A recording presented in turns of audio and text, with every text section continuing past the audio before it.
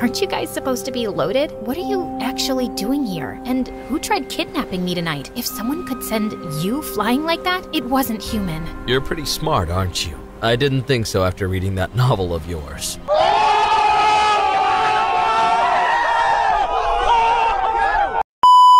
Trouble making him fall for you. Maybe he hates your eyebrows. I don't know. But I feel like punching you in the face every time I see your eyebrows, which is basically every time I see your face.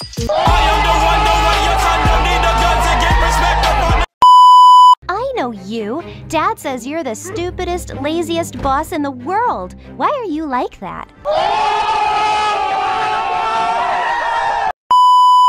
Truth hurts, darling. I heard she quit modeling. Maybe she finally realized she isn't anything special. Yet somehow she's a famous supermodel with tons of fans, and you've got this lame haters club in school. You seem obsessed with her.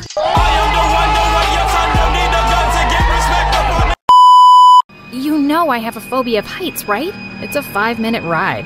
You're just being melodramatic. Get over it. Get over it? Enjoy the party without this drama queen then.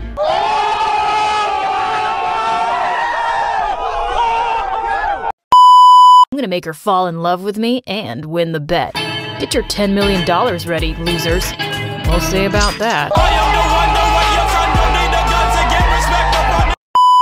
Maid's daughter. Always remember that. I reached for her arm and twisted it away. At least I'm prettier than you. Always remember that.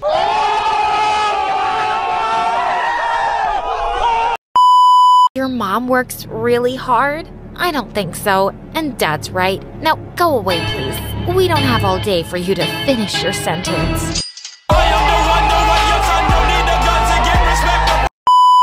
With that size, you don't have to be so mean, okay? I know I'm tall, but you're dumb and I never make fun of that.